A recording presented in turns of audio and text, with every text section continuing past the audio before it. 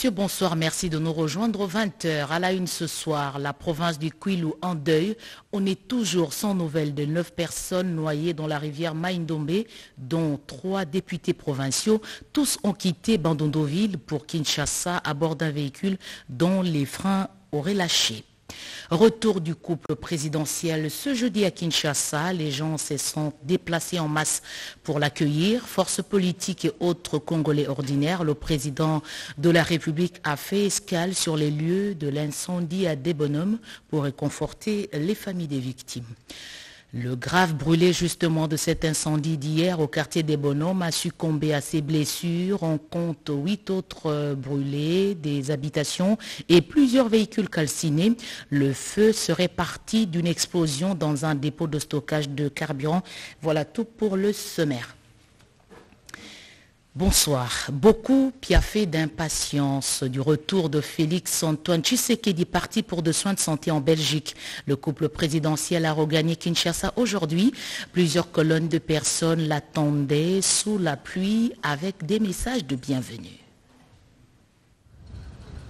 Tous unis comme un seul homme, quinois et quinois, tous âges confondus, étaient impatients de revoir le premier des Congolais. C'est juste après la pluie qui s'est abattue ce jeudi matin, puis des bénédictions, que l'avion transportant le couple présidentiel s'est posé sur le tarmac de l'aéroport international d'Injili. Le président de la République, Félix Antoine Tshisekedi Chilombo, accompagné de la très distinguée première dame, est rentré au pays plein de vitalité. À sa descente d'avion, le président est salué par les présidents des deux chambres du Parlement, le Premier ministre, le gouverneur de de Kinshasa, son directeur de cabinet et plusieurs autres autorités présentes à l'aéroport. À l'intérieur du pavillon présidentiel, les membres du gouvernement s'étaient arrangés pour réserver un accueil délirant au président de la République. Le cortège présidentiel s'est ébranlé sur le boulevard Lumumba, direction cité de l'Union africaine. À l'extérieur de l'aéroport d'Indjili, les militantes et militants ont manifesté l'euphorie. Et surtout qu'il y a eu beaucoup de choses qui se sont parlées. Oh, il est mort, il n'est plus vivant. Alors on s'est dit, nous allons cette fois-ci arriver à l'aéroport nous-mêmes, le voir, pour que nous puissions savoir comment parler aux autres personnes qui sont dans le province. Il est bien portant. S'il était, pas, s'il était malade, il ne devait pas venir. Il a bonne santé. C'est comme ça qu'il est venu. Nous sommes très contents euh, de voir notre président de retour. Euh, vraiment, pour moi, je suis vraiment très contente. Et puis tout le monde, toute la société, nous sommes vraiment très contents de recevoir notre président de retour. Félix Antoine Tshisekedi, avec une minerve au cou, est descendu pour saluer la population.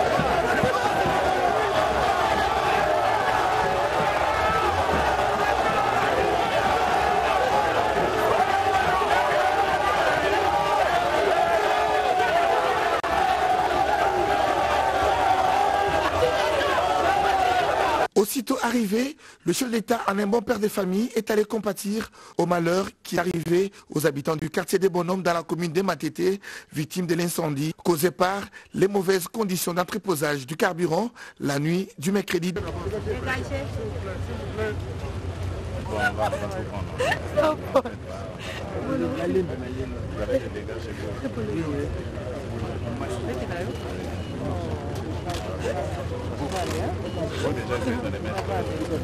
Il faut noter que le président de la République a passé 11 jours en dehors de la République démocratique du Congo. Plusieurs formations politiques membres de l'Union sacrée de la nation se sont amassées le long du parcours du cortège présidentiel. La FDC en fait partie, ainsi que les opérateurs économiques dont la société Pain Victoire. Regardez ces images commentées par Cédric Keninambo au pays ce jeudi 17 mars 2022 au terme d'un séjour médical en Belgique. Le président de la République, Félix Antoine Tshisekedi Chilombo, a été accueilli en triomphe par des milliers de militants des partis politiques membres de l'Union sacrée de la nation. Présent à l'aéroport international de Njili, aux côtés du comité d'accueil constitué essentiellement des chefs des institutions, les partis membres de l'Union sacrée de la nation ont réservé un accueil digne aux chefs de l'État. Ils ont bravé la pluie, prouvant ainsi une fois de plus leur attachement au chef de l'État après un séjour privé médical à Bruxelles. Comme dans ses habitudes, l'Alliance des forces démocratiques du Congo, AFDC, parti cher au président du Sénat, le professeur Modeste Bahati Lukwebo, a fait une mobilisation impressionnante de ses militants. Sous l'encadrement de la présidente nationale par intérim, Marie-Jacqueline Rumboukazang, les cadres et militants de la FDC étaient très nombreux le long de grandes artères de la ville-province Kinshasa pour souhaiter un bon retour au pays à leur candidat pour la présidentielle de 2023, Félix Antoine Tshisekedi Chilombo. Un retour au pays qui illustre bien l'attachement des Congolais, Quinoises et Quinois en particulier au chef de l'État. Dans les lots des mouvements associatifs, partis politiques, monde des affaires, figurent également certaines entreprises privées œuvrant dans le social, à l'image des scènes de panification Pain Victoire. Calico en main, t-shirt à l'effigie du chef de l'État Félix-Antoine Tshisekedi, le temps s'est arrêté pour immortaliser l'instant de ses retours, loin d'être ordinaires. Sous la pluie, après la pluie, Pain Victoire a fait montre de son attachement aux institutions du pays, à l'ordre constitutionnel, mais aussi et surtout à la première des institutions du pays qui est le président de la République.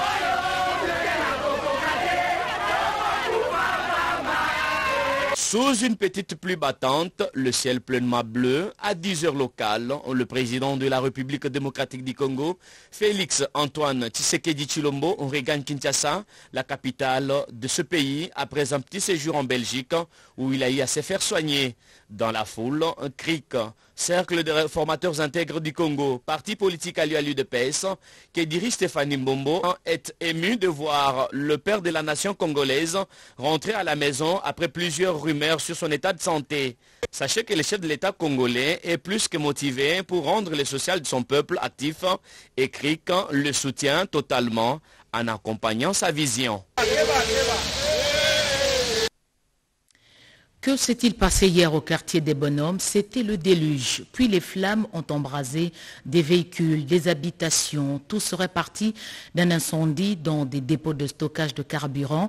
Le ministère des hydrocarbures porte plainte contre la propriétaire de ces dépôts, Séverine Pascal Katanda.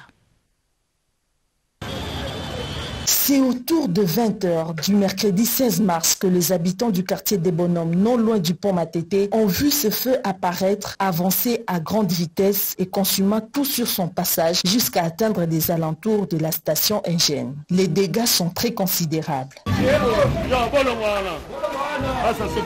Il s'agit d'un incendie d'un dépôt de carburant hors nord. L'ironie du sort est que le propriétaire serait un cadre du ministère des hydrocarbures dont le titulaire est engagé dans la lutte ferme contre les mauvais stockages de produits pétroliers. Le ministre national des hydrocarbures Didier Boudimbo est descendu sur les lieux dans la même soirée pour se rendre compte de l'ampleur du sinistre. On dit qu'il y a une dame qui tient ici, apparemment elle est des hydrocarbures, elle fait le stockage, mais je pense que ça c'est pas le stockage. Le ministère va se porter partie civile, il va porter plainte dès demain matin et il faudra appréhender cette dame-là.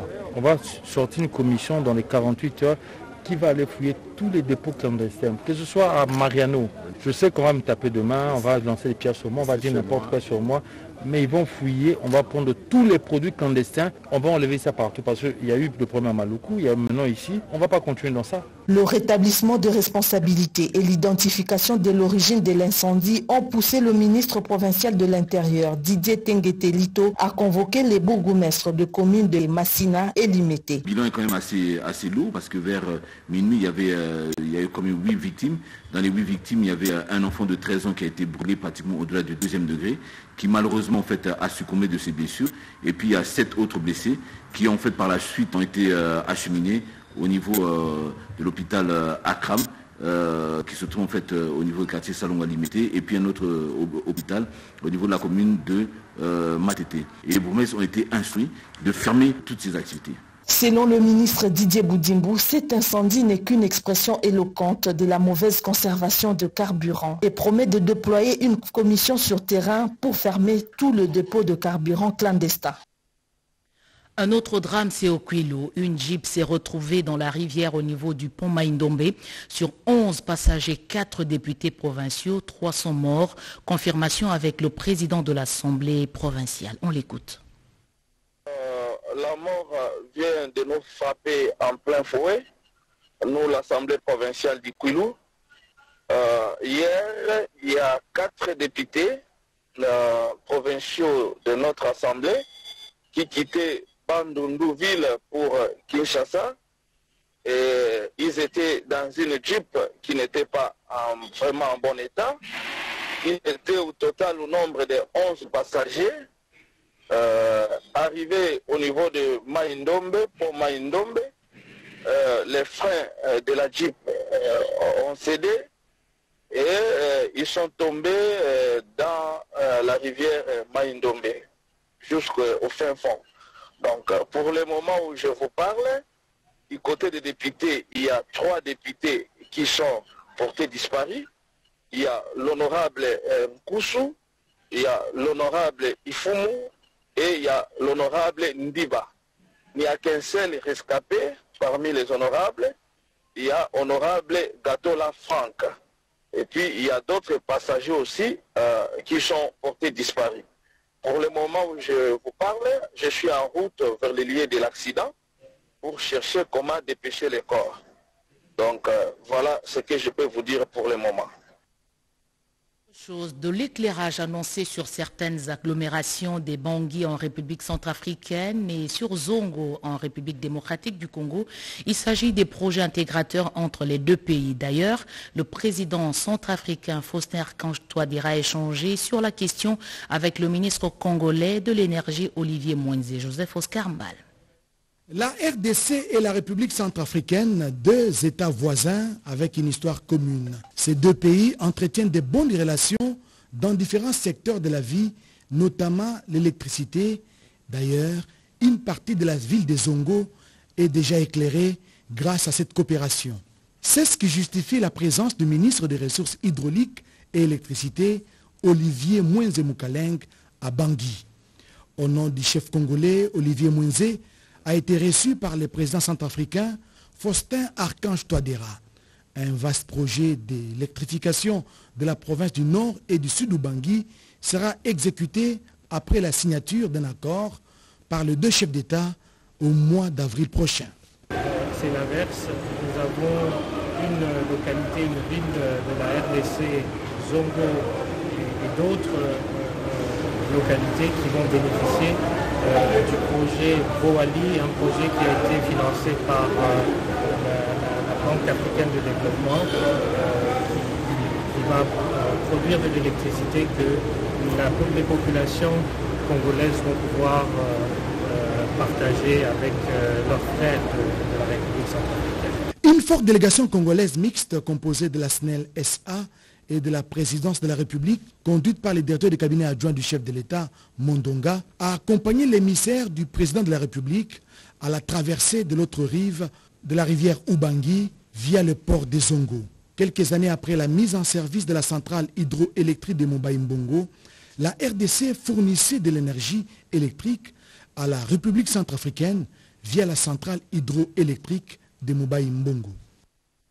Deux journalistes congolais ont raflé le titre des meilleurs présentateurs des journaux télévisés et parlés d'Afrique francophone.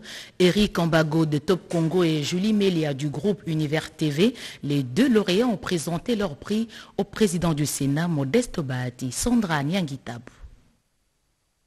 Le président du Sénat, Modeste Bahati Lukwebo, a accordé une audience ce mercredi 16 mars 2022 à une délégation des journalistes membres du réseau panafricain des journalistes, section RDC, en son cabinet de travail. Conduits par Monulf Bossio, ces chevaliers de la plume et du micro sont venus présenter à Modeste Bahati les prix raflés par les journalistes RD congolais lors de la cérémonie de remise de trophées aux meilleurs présentateurs de journaux télévisés et parlés d'Afrique francophone qui se sont distingués dans leur travail. L'événement haut en couleur avait eu lieu le 25 février dernier à Brazzaville et était parrainé par Denis Sassou Le président de la République sort du Congo-Brazzaville. Pour cette édition 2022, deux journalistes de la RDC étaient sur le podium. Il s'agit d'Eric Ambago de Top Congo FM, élu meilleur présentateur radio, et Julie Melia Moulandama du groupe Univers, élue meilleure présentatrice TV. Ces professionnels des médias ont choisi l'honorable Modeste Bahati pour lui présenter ses trophées. Il justifie ce choix par le fait qu'il dirige une institution qui est l'émanation de toutes les provinces du pays, dont Kinshasa. Modeste Bahati a pour sa part, au nom de toutes les 26 provinces de la RDC, salué le professionnalisme de ses compatriotes qui ont fait hisser le drapeau de la RDC à Brazzaville devant une quinzaine d'autres pays lors de cet événement. Nous sommes dit qu'il fallait voir Monsieur le Président. Il est qui? Il est le président du Sénat. Le Sénat, c'est quoi?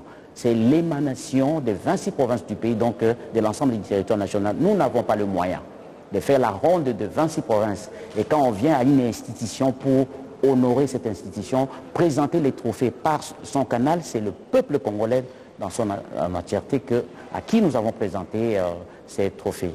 Nous l'avons choisi en tant qu'institution et puis en tant que celui qui a vraiment euh, une bonne amitié avec le journaliste que nous sommes. Le président du Sénat, Modeste Bahati Lukwebo, a également reçu dans son cabinet de travail une importante délégation des députés tanzaniens venus lui présenter des civilités.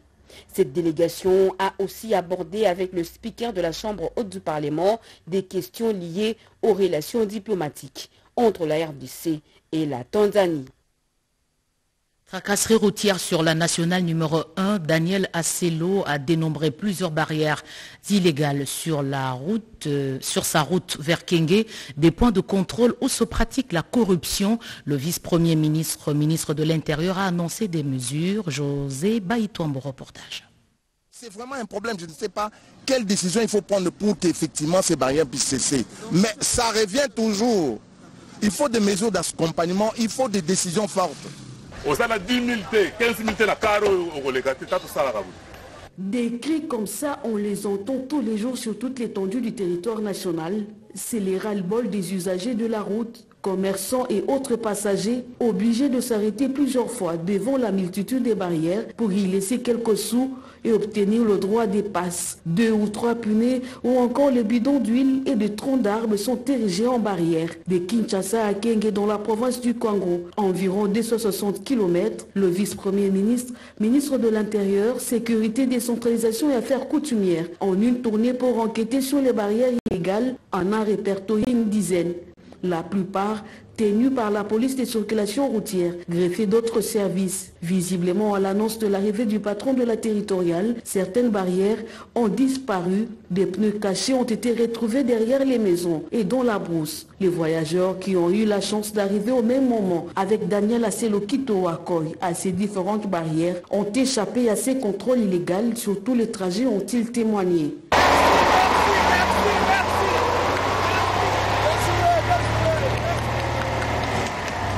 Parti de Kinshasa le mercredi 16 mars pour Chikapa, à près de 1000 km de la capitale, Daniel Asselo va s'enquérir d'abord de la situation des barrières érigées sur les routes nationales. Sont-elles illicites ou non? Avant de prendre des mesures qui s'imposent afin de lutter contre les tracasseries routières conformément à la vision du chef de l'État, Félix Antoine Tshisekedi Chilombo.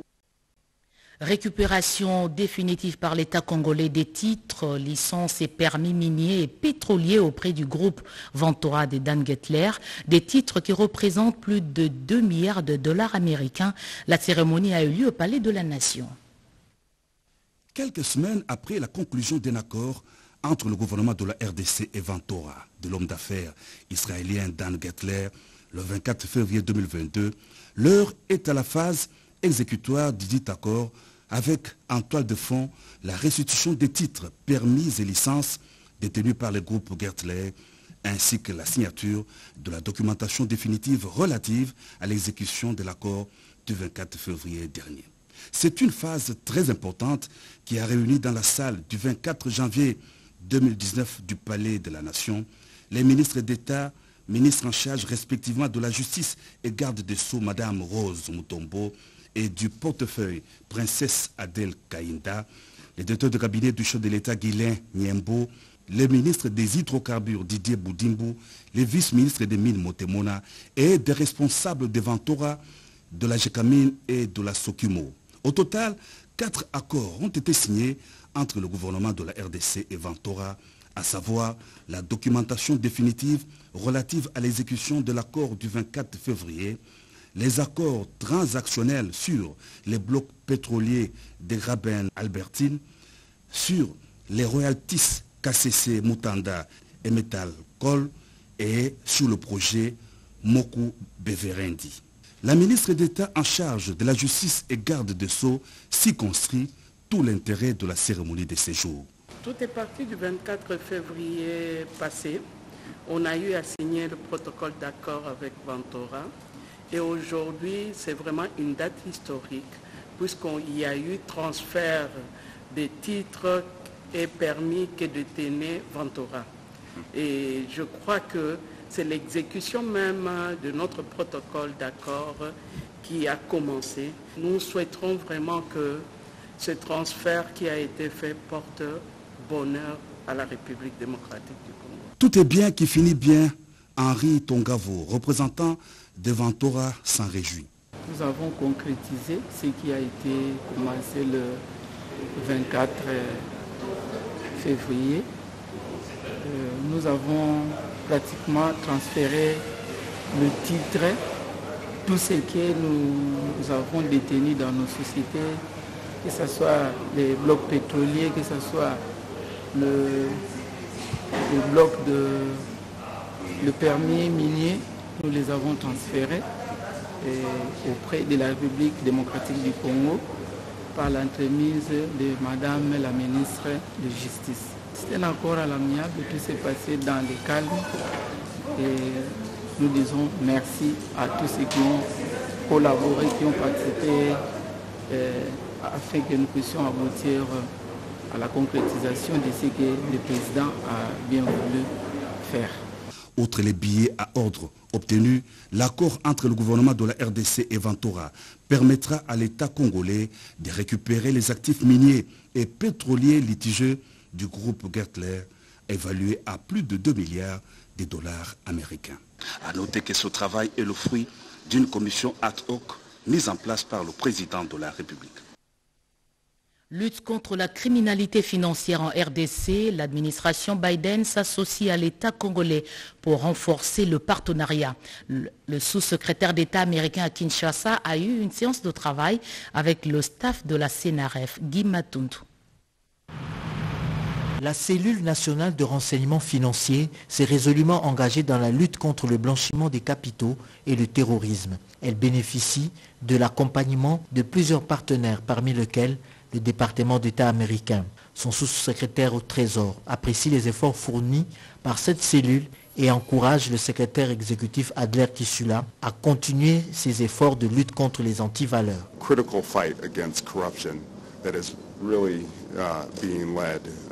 Je suis ici euh, pour euh, euh, d'abord féliciter l'immense, l'énorme travail qui est fait par le CNRF.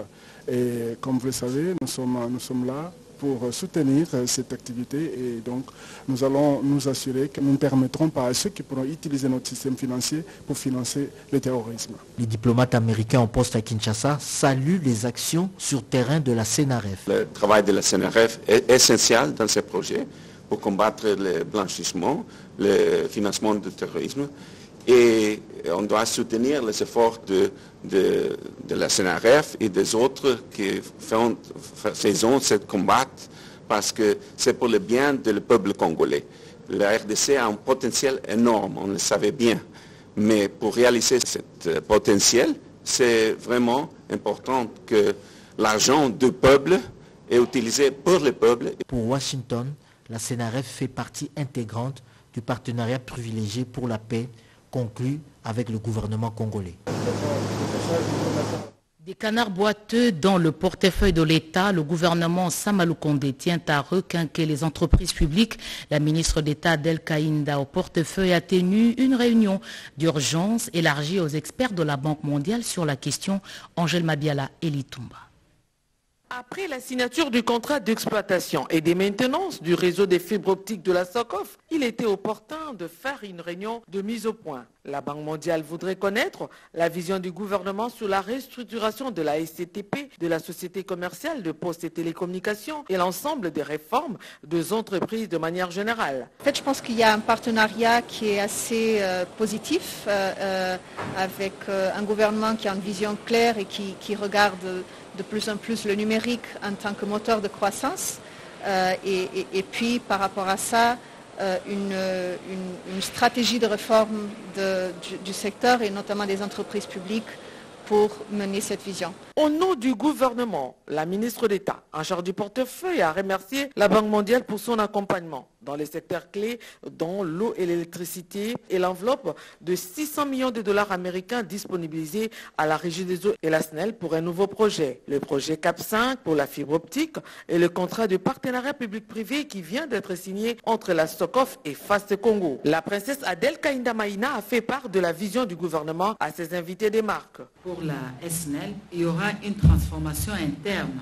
Donc c'est plus avec la distribution que le PPP doit intervenir avec les compteurs intelligents, tout ça, qui va arriver à rationaliser la gestion de, la SNEL. Et ce sera pareil aussi pour la région. Pour la poste, nous devons définir télécommunications et puis fibre optique. J'ai aussi encore ces projets pour ce qui concerne la RVA. Les discussions techniques vont se poursuivre entre les équipes de la Banque mondiale, la SCPT et les COPIREP. On fait le bilan du programme national de l'hygiène aux frontières. Après deux années aux commandes, Dr Ndungi Ndungi est revenu sur les réalisations de son équipe. Il a également réagi sur les accusations de détournement de fonds Chati Kiweme. Contrairement aux allégations sur une prétendue mauvaise gestion des fonds au programme national de l'hygiène aux frontières, le directeur national de ces programmes apporte un démenti. Mais en rapport avec euh, le détournement, tout est décentralisé et tout est bancarisé. C'est difficile qu'on puisse dire, voilà, on a détourné autant d'argent. Non, nous n'avons même pas produit cet argent, même pas la moitié de ces montants-là au niveau du port de Matadi ou bien au niveau du Congo central. Je peux rendre disponible tous les relevés bancaires par rapport à afférents. Et puis ce ne sont pas les agents du programme qui perçoivent. Il y a une société qui est placée, qui nous assiste à la perception. Nous avons pu, avec fonds propres, euh, acheter deux ambulances médicalisées avec les fonds propres et en respectant euh, la procédure des passations de marché. Dédé Dungindungi, une fois placé sur une échelle des valeurs, affiche une courbe ascendante. Nous sommes partis, avant que je ne vienne, c'est autour de 30 milliards de production, mais à ce jour, on est à 114 milliards de production. Ça signifie que nous avons multiplié nos recettes à plus de 400%. Et ça, ce sont des données vérifiables, même au niveau de la DGRALD, au niveau de Sidonia de la DGDA. Vous trouverez toutes ces données et je crois que j'ai rendu disponible pour que vous puissiez avoir une idée sur ce que nous avons fait.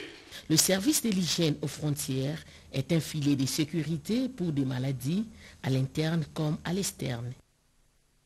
Comment mettre fin aux évacuations des malades congolais à l'étranger? Le ministère de la Santé fait le choix de renforcer les capacités des prestataires de soins et des services de santé. Le lancement officiel du processus de réforme hospitalière a été fait par le ministre de la Santé, Jean-Jacques Mbongani. Reportage, Diane Balaka. Le système sanitaire congolais connaît aujourd'hui d'énormes difficultés dans l'ordre de service. C'est pourquoi redorer l'image de marque de ces secteurs de la santé publique, de l'hygiène et de la prévention devient une des priorités du chef de l'État, Félix Antoine Tshisekedi. Cette vision du président de la République prend de plus en plus forme au lancement officiel du processus de la réforme hospitalière des prestations de soins et de services de santé du pays. C'est la raison de la relance de cette double réforme amorcée au ministère de la Santé publique.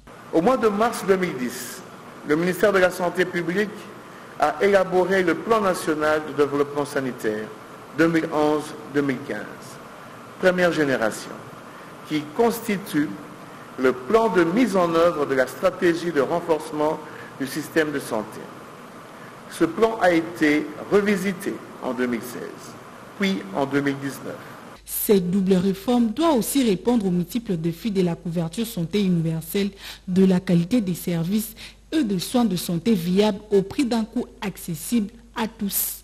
D'abord, comment faire pour faciliter aux différents villages l'accès aux soins hospitaliers? Le niveau de dépense doit trouver l'hôpital qui soit capable de fournir des soins spécialisés. Car cette réforme a entre autres pour objectif de contribuer à l'amélioration de la couverture santé à travers le renforcement de capacités des propriétaires offrant des infrastructures sanitaires répondant aux normes et garanties du bien-être physique, mental et social de la population bénéficiaire de la mère à l'enfant et beaucoup d'autres groupes spécifiques.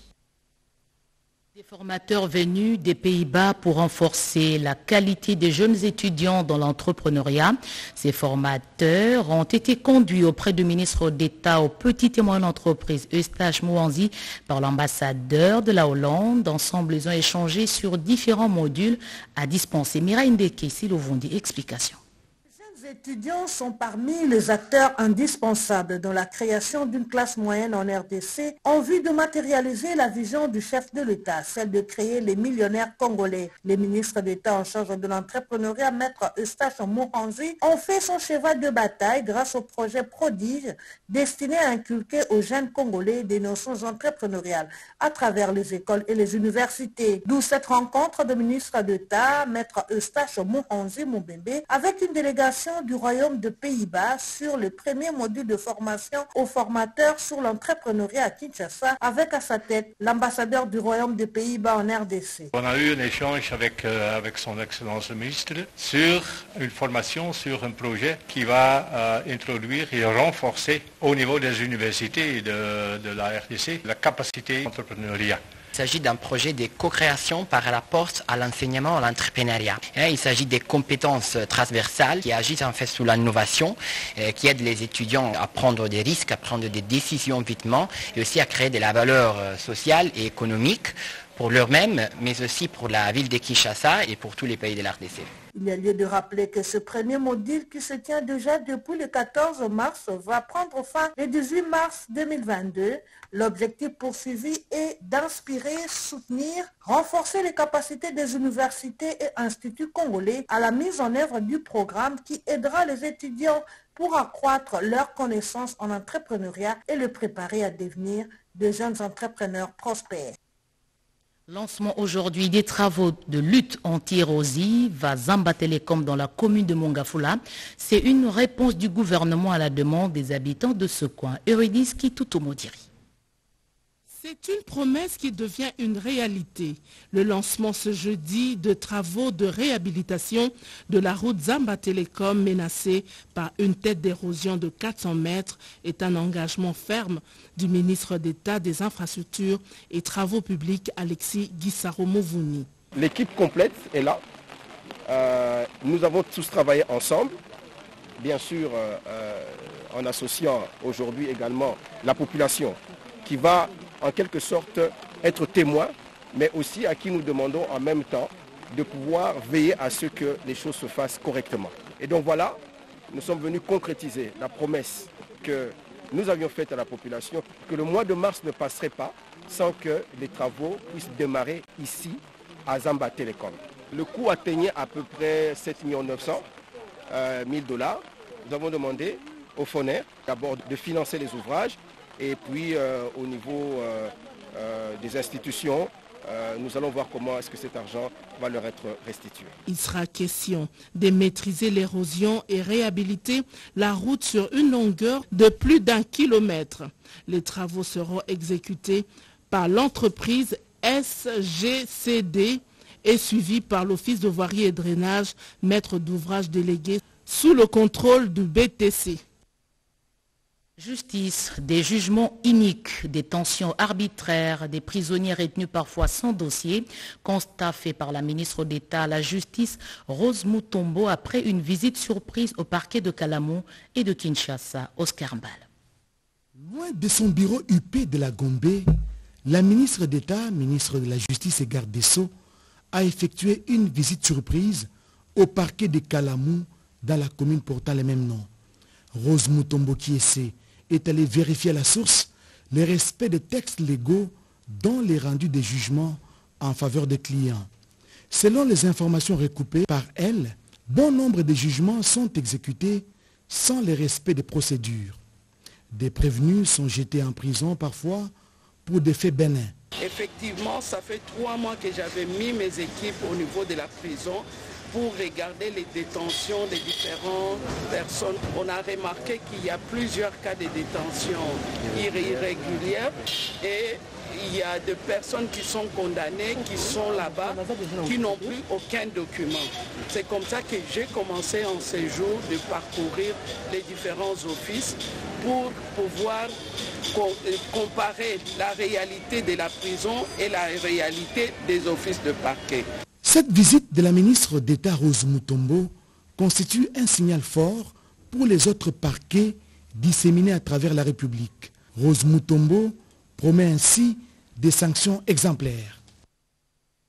Écologie, initiation des élèves à la gestion des déchets en milieu scolaire. Certains des écoles de Kinshasa ont bénéficié d'un échange d'expériences avec l'association des anciens stagiaires de la JICA. Bobete Ngali Samba Papimbongo. C'est une matinée scientifique et didactique organisée ce jeudi 17 mars par l'Association des anciens stagiaires de la JICA. Objectif, sensibiliser et impliquer ces élèves, futurs cadres du pays, dans la gestion quotidienne des déchets et améliorer leur environnement immédiat. Initiative saluée par le représentant résident de la JICA, Shibata. Cette initiative, euh, après l'expérience de stage au Japon, ça va contribuer beaucoup que le futur Kinshasa Le secrétaire général de l'ASJICA, Mathias Nzanga, explique les motivations de cette activité. Nous avons essayé de cibler les enfants pour la gestion des déchets. Nous sommes en train d'attendre un changement de comportement parce que nous avons estimé que la question des gestions des déchets c'est d'abord un facteur lié à l'éducation. Les délégations de quatre écoles présentes à cette matinée d'échange ont bénéficié des bacs de poubelles, dont de l'ASJICA. Toutefois, l'épée Lissanga Bokeleale demeure l'école pilote pour cette expérience. Elle a reçu des tricycles pour faciliter l'évacuation des déchets produits à l'école. Notons que la bonne gestion des déchets passera par le tri la collecte et l'évacuation au dépôt de transfert jusqu'à la décharge finale. Par contre, la mauvaise ou la non-gestion des déchets est à la base de contamination et entraîne des catastrophes comme les inondations après la pluie. Modèle dans la pacification, l'honorable Isaac Frédéric Guissaro Moroya en est décédé il y a 42 ans. En sa mémoire, les notables du Sud Kivu ont lancé un appel à la paix. C'était au cours d'un culte d'action de grâce. Erudis Kitutu. C'est comme si le douloureux événement est intervenu hier et pourtant plus de quatre décennies se sont écroulées depuis la disparition le 16 mars 1980 d'une figure emblématique de la communauté Banyamulenge. La commémoration du 42e anniversaire de la mort de l'honorable Isaac Frédéric Guissaro, Mooya a remis en surface des souvenirs impérissables dans la mémoire collective des Banyamulenge résidents à Kinshasa comme dans le reste du pays. Les témoignages se sont recoupés sous la reconnaissance qu'on lui doit et le modèle auquel doit se référer la communauté Banyamulenge. Ce culte d'action de grâce a servi de cadre autour de l'engagement pris par les uns les autres de dire non à la guerre dans l'est du pays. C'est encore possible de, de là où nous avons été, là où certains ont été chassés, de rebâtir des maisons là où ils ont vécu. Oui, c'est encore possible d'écrire une nouvelle page d'histoire, une page écrite en couleur d'espoir. Parce que finalement, certes, il y a un maître de temps et des circonstances, mais ce maître de temps et des circonstances ne travaille pas seul, il travaille avec les hommes. Et ce sont les hommes qui changent les temps et les circonstances. Les appels ont été faits ici. Je voudrais faire le même appel. Le même appel. Nous avons une nation bénie. Tout le monde.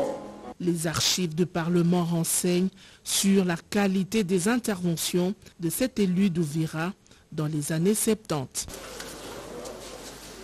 Et la politique, pour terminer, Victor Wankwenda, désavoué de l'UDPS, il est reproché à ce cadre du parti présidentiel la violation répétitive du statut du parti et la délocalisation du siège national. Alain Bikaï.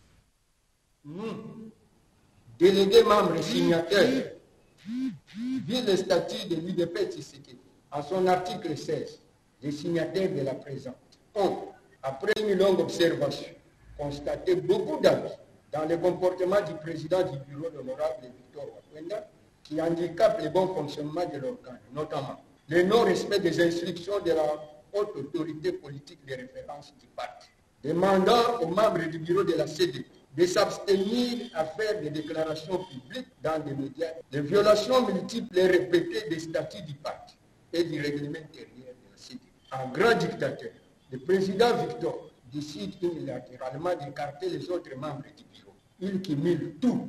Il est en même temps président, vice-président, rapporteur et questeur. Et s'est doté d'un bureau alimenté Founas qu'il a personnellement qualifié et nommé directoire IDPS Tshisekedi, délocalisant ainsi les chaises de la CDP de la permanence nationale du parti.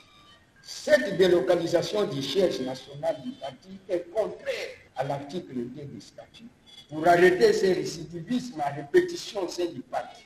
Les signataires de la présente déclaration désavouent publiquement M. Victor Wakwenda sans sa qualité du président de la Convention démocratique du parti, IDPS dit, et par conséquent les défaire immédiatement devant la Commission nationale de discipline du parti pour qu'il soit entendu. Fin de ce journal, merci de l'avoir suivi à travers le monde. Restez avec nous, le programme continue.